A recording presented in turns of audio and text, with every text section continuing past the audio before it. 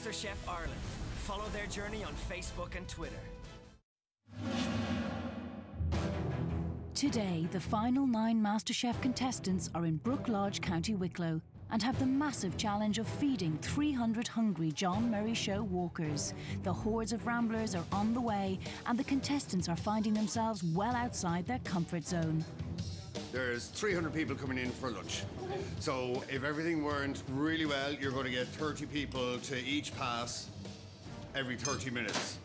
So that means you have to get this plated up in one minute in order to stop the queue from building up, all right?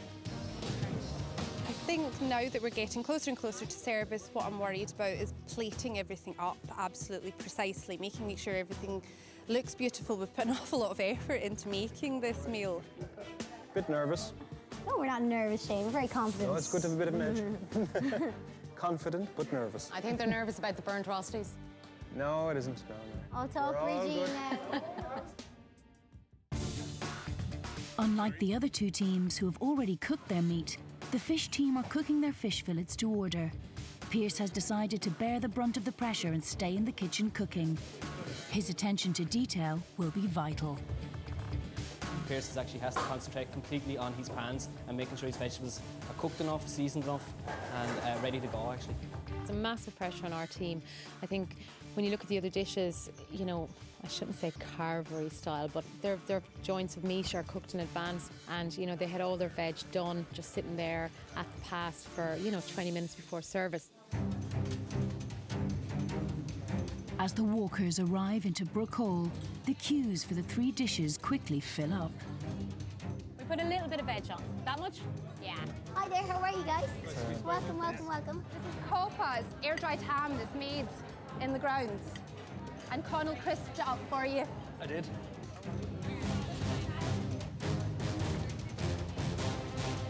Hot, hot, hot, hot, hot. pretty hectic. We didn't realise that they'd come in pretty much all at once. And once all the tables were filled, they were going outside. It just was like a stream of people kept that kept coming. There's a bit of butter in it, but sure, you deserved it. So what we have here is some roasted uh, root vegetables, and it has a smoked onion, um, which is gorgeous with our beef today. even selling our dish and you know telling them what we cooked and what was in our ingredients i loved that element of it and you know i worked really hard at that out front because i thought that was what was really important to get across to people Glad that it's nice and quiet in here. There's nobody bumping off me at the moment. So, need to keep my head focused. Pierce, you're about to get a little bit more busier, buddy. Sorry? You're going to get more busier, huh? Shane, when you're ready, hand back that uh, beef tray, and I have some more slices ready for you here. As well as concentrating on the meat and trying to cook the different uh, medium, medium well, uh, well done for whatever the customers want. I got to have in my mind that I have veg in the oven and keep flashing in and out, trying to keep both stocked. New potatoes, do you? Yeah. Did you get some? Are they in the oven? They're in, no, they're in the bottom compartment of the of the orange thing. If it's selling well and we forget to get more uh, food into the oven to heat, then we're going to keep people waiting. If people are waiting, they're just going to move to somebody else and get food from somebody else. We need to make sure there's a constant stream of food coming out, that the presentation is absolutely perfect, and that we're working and talking to each other all the time. If we stop communicating at this stage, we won't win, and we really want to win this. Taking their eye off the ball, the fish team realise they've run out of courgettes. And as their diners wait, they have to go back to basics and start shopping. Didn't prepare, prepare enough courgettes for 100 dishes. I didn't uh, cut the veggies, but I'm not saying it's not my responsibility. Of course it is, it's a team responsibility. And as their customers wait at the pass, things go from bad to worse for an already overstretched Pierce. Guys, we need some fish out here now. Start talking to the girls more. They'll do a little bit more for you. Meanwhile, out in the dining room, the walkers that have been served are getting stuck into their much anticipated lunch. However, are the standards high enough for a Brook Lodge audience? The rusty, tiny bit overcooked, but that's the only negative. The bisque certainly is the highlight. Um, I'm not sure about the little crab cake. It's a little bit on the dry side. Well, I had been in the steak aisle uh, line, but when I got so close, um, they have it done very rare. So I switched over to the hake. Chose the pork because I think it was the one dish that was available at the time when we were standing in the queue. Big piece of crackling there. With a huge demand on the ovens and still over 150 people to feed, Pierce's order backlog is growing by the minute. Ovens opening and closing every two minutes, and um, and it's the, the hake isn't cooking properly because of that. So, uh, so I'm having I can't my timings are all off with the hake. So I'm just going by feel now. Sorry, How's um, how's the veg? no more veg. You want everything? Not a problem, sir. Delighted here. Delighted. I'd say you are starving today. Hake, hake, are we on hake? We need. Yep. Done? It needs a minute. Do we Okay. really need that now? Yeah. She's out. She's out. And while the fish team are struggling to keep up with their waiting customers, Richard sees an opportunity in the even longer beef queue. Guys, you have to try the pork over here. You've been waiting ages for that beef, and it's definitely, definitely not as nice. This is organic pork, stuffed with fennel. It's got a lovely rub in it. It's slow roasted on a spit. It's absolutely gorgeous. Okay, so let's be. Absolutely great. Thank you. Oh, fair master chef. You got to keep selling it to people. You got to keep calling them over and make sure that they're coming in and seeing what you got. Fabulous pork with wild nettle potato cakes. You go for that. You won't be disappointed. Harvey, come along there, Pierce. Fish. Fish, I've got fish here. Okay, guys, we need to get going in the beef here, guys. We just need to get going in the beef. Let's go easy on the sauce. That's, that's as much sauce as we have. Dylan and Nick have been keeping an eye on the contestants and feel that both Shane and Connell are not pushing themselves enough. So they've decided to switch their positions in the teams and move them from front of house. Some people were doing all of the work as usual, so it was important to try and flip that and see how they responded. You two are going to swap. Okay. Yeah? No problem. I want you two to swap roles. I want you to stand there and serve people, and I want you to do the backup. Yes. Let's rock and roll. Let's see a second speed, Shane, yeah? Okay, Shane. There's a tray of Rosti. There's one tray of veg in. Yeah. There's another tray of Ros- Rosti cold.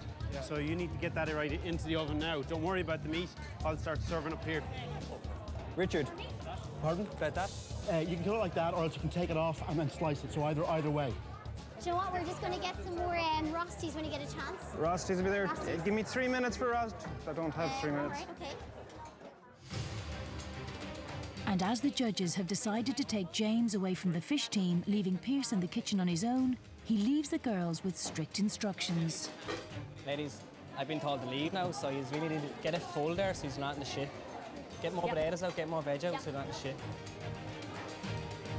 Bree needs those potatoes. Yeah, I know. And Pierce is back chopping courgettes. Again. Keep running out of veg. I'm not getting the feed. Huh? I'm not getting the feed. Oh, yeah. Well, why don't you just do loads more veg? Um, this is how the chef asked me to do it in Why don't we do it your way? Do it your way. You're stuck here sweating in the engine room when the others are just sort of at the pass to enjoy themselves. Uh, don't think so, Nick. Mary's running around like a blue arse fly there as well, getting the potatoes and stuff. If we had cooked things in bigger batches, it would have been easier on us.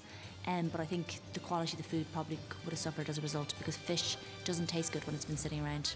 As a team, we, we did exactly what we set out to do, but I think the judges probably felt that we made life difficult for ourselves. As Shane struggles to find his momentum on the prep area, the fish team have been asked by a celiac customer if they could have a fish dish without the crumb and potatoes. Pierce goes out to investigate, pan in hand. Um, we've just had one request for hake. What is that lady allergic to? She's Celia. Can you get some more sauce for me, please? And there's lovely beef sauce to come with this as well. I'm not annoyed to have to do this at all, you know. I suppose you always get special requests in, in kitchens, so this doesn't bother me at all. A couple of other elements of the service annoyed me a bit, particularly not having enough veg prepared. It's just a little bit irritating. Pierce, do we have the celiac fish coming? Yeah, it's Well, coming. how long will it be, though? It's. co- I, I've asked. It's. It's on the way. Five minutes? It's on the way from the other. Yeah. Meanwhile, the other teams have finished their service. It's on its way. I won't forget you, I promise. Promise. The fish is, uh, is beautiful. I was thinking long and hard about having the beef or the pork, but I decided the ultimate healthy day would be big walk up and down the mountain, and then some gorgeous fish. I thought it was three professional chefs competing. So, I, I mean, on that basis, the food was fabulous, assuming that they were professional at it. If they're amateur, I mean, it's just off the scale. Really, it was so good. I was on the beef. I was. On, I tried the fish. Excellent as well. And the, this is pork now. I got. But I'd still go back to the beef. My beef is number one. The day has been a fantastic success. Good weather, good walk, good food, and good company.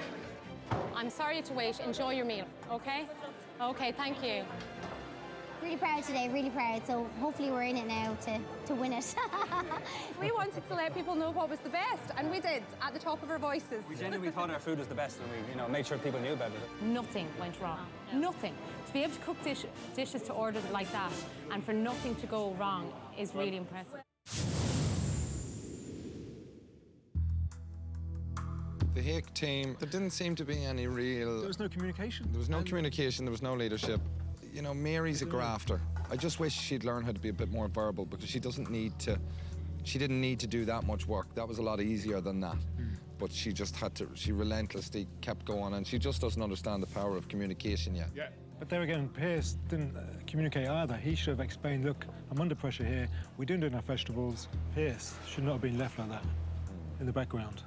Claire didn't move, but she's normally the one that, that does all the multitasking. She seemed to stay at the front. Oh, Richard was sweating so much. today. Richard always sweats.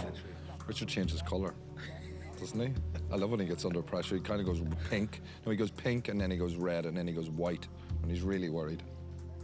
Beef team. Beef team. Still seemed under pressure at times. I think it was a good move to swap the boys because I, I just don't see Shane come out of his comfort zone enough, and it can be it can be a little bit frustrating. He's quite willing to just rest on his laurels and stay there. With 300 walkers heading home well fed, the top prize of cooking in a professional kitchen with some of the country's leading organic chefs is now up for grabs for the winning team. I've been to this restaurant before. The food that comes out of there is fantastic, and I just love to get in there and, and cook in there tonight. It would be a great honour, yeah. This time, I think it went fairly well.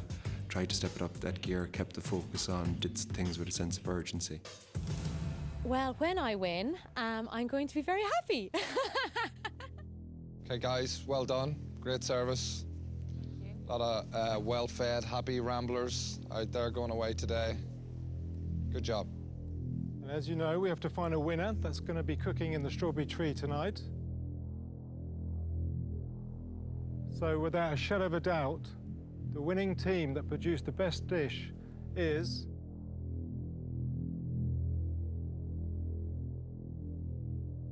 The pork. So well done. Thank you. Again. oh, good stuff. Good Oh. stuff. Brilliant. Thank you. So commiserations to the rest of you, and we'll see you all tomorrow in the MasterChef kitchen. Thank you. We were disappointed that we didn't win. You know, we just didn't know, you know, where the other teams were or what they were doing because we were so focused on our own dish. I suppose I always think I'm going to win. I think that's the mentality that I try to have in this competition. And I think if you have that attitude, you're going to do the best you can. We had to sweat it out at the end, and the others weren't as pressurised. That was a challenge for us.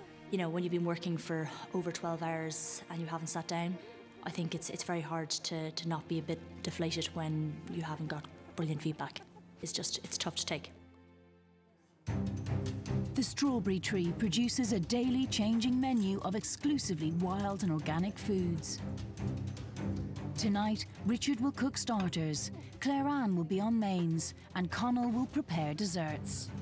I've never um, filleted a wild salmon that cost 20 euros a kilo before, so it's pretty daunting to be um, doing this now. So you need to be really, really exacting with this dish. Everything needs to be absolutely perfect. Three berries on top, needs to sit perfectly on it. I'm going to put a little bit of garnish. The main reason I entered MasterChef was to, you know, do things exactly like this. Service, please. Okay, service. Service and table four, please. Yes. Thank you.